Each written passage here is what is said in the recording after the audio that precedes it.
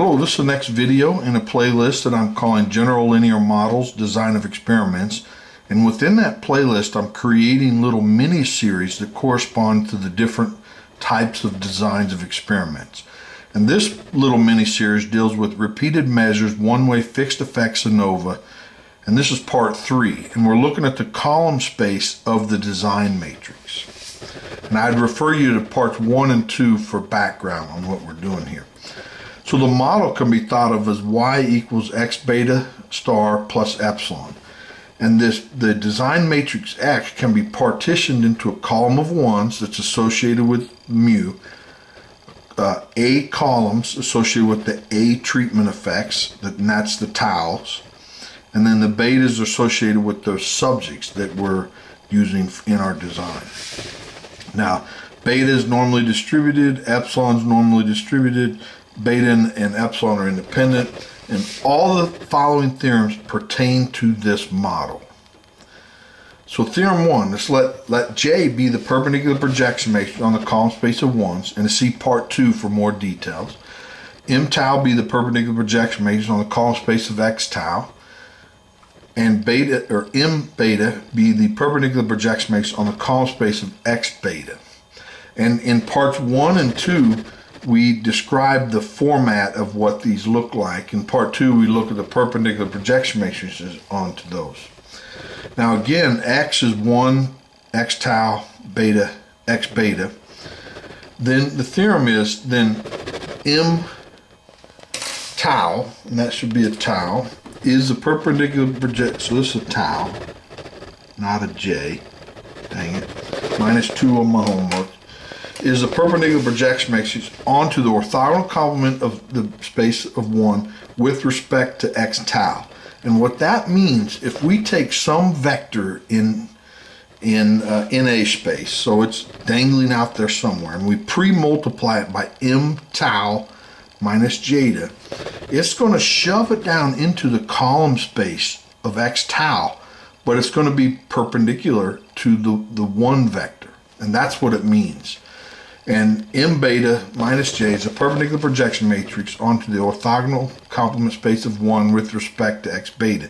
And again, you take any vector, pre-multiply it times this perpendicular projection matrix, and it, and it shoves it into this column space, but orthogonal to the 1 vector. And so what that means is it adds to 0.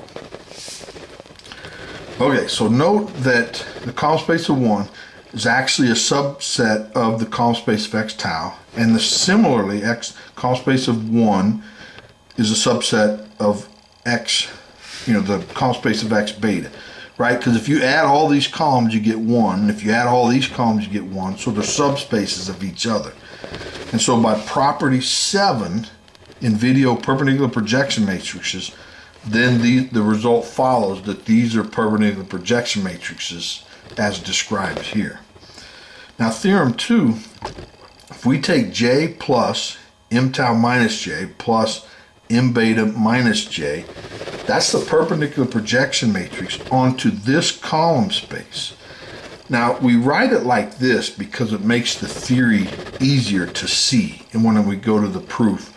But really, you know, this j would cancel with that and so this overall matrix is m tau plus m beta minus j.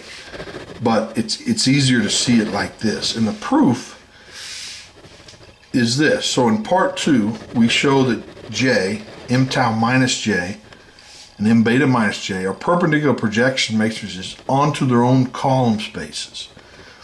Also from part two, we showed that these column spaces are all are orthogonal they're pairwise orthogonal. And then by theorem one, in a video that I called Sum of Perpendicular Projection Matrices, then it follows that this is the perpendicular projection matrix onto this column space. And we're, and we're done.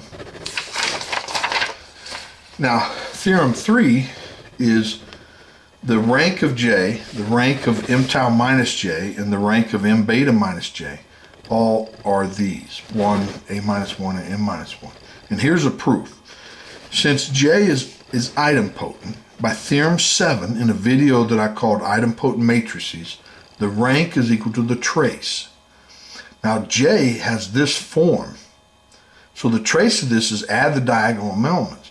So if we add the diagonal elements of this, we get NA, but then we're dividing by NA, so it's 1. Now, since m tau minus j is idempotent, the rank is equal to the trace, and so the trace is the is into each of those, and this is block diagonal, and in each block we're adding n, but dividing by n, so it's 1, but we're doing that for each block, all A blocks. And this is 1, so we get A minus 1. Now the rank of m beta minus j is equal to the trace because it's idempotent. So the trace of m beta, which is this, minus trace of j. And, and the add up a ones, we get a, divide by a, you get 1. But we're doing this for the n, n blocks down that diagonal, so we get n minus 1. And the theorem is proved. Now, this theorem, we're going to show that the column space of this, remember this deals with theorem 3 earlier, so the column space of the augmented matrix, J, m tau minus J, and m beta minus J, is equal to the column space of J, or the, the augmented matrix, J, m tau, and m beta. Now to show this, what you do is you assume a vector is in this column space and we show that it lives in this column space. And then we show that if a vector lives in here, it also lives in here. So those two column spaces would be equal. So let's go this way. Let's assume there's a vector in, in here, this column space.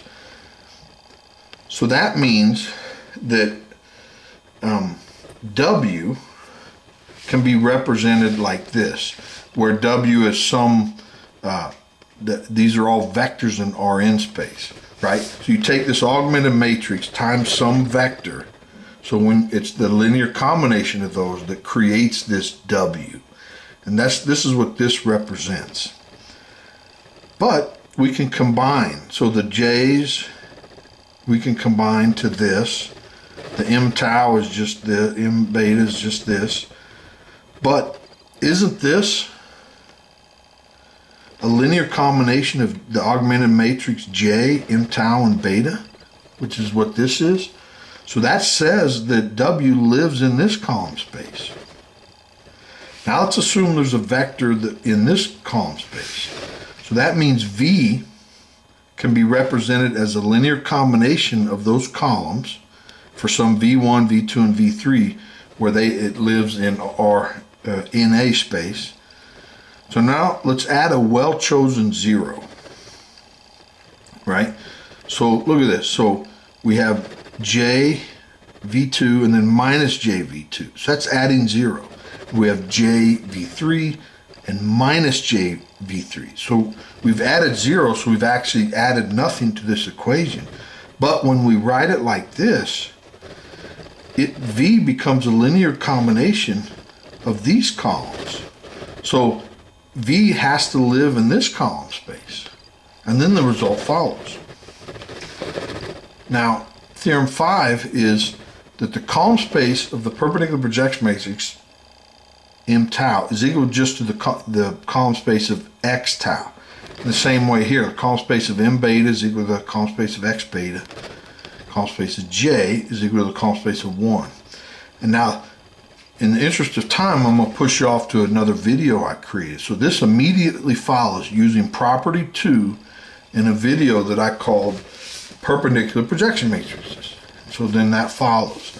So now theorem 6 is that we know M created like this, X, X transpose X, generalized inverse X transpose, is the perpendicular projection matrix onto the column space of X. Now, we're going to show that M has this form, M tau plus M beta minus J.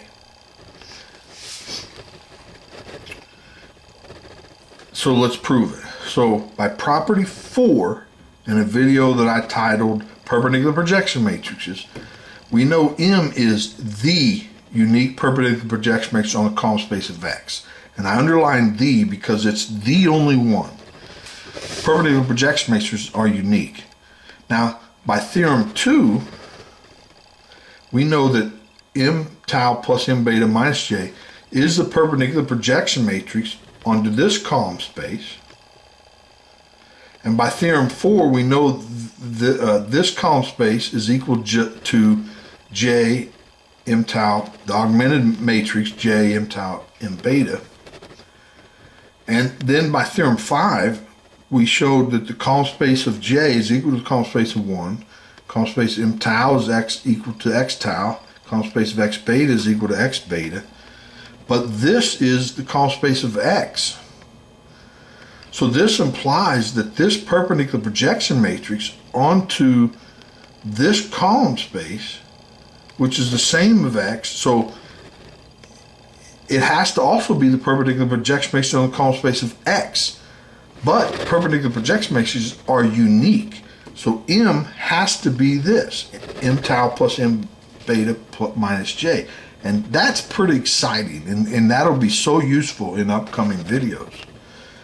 Now, theorem 7, the rank of M, and since M was a perpendicular projection matrix, it's the trace. So the rank of M is, is equal to this. This is M, right? So then it's equal to the trace, but we showed this is A, this is N, and this is minus 1. So that's the, the rank. And that'll come into part in our distributional properties.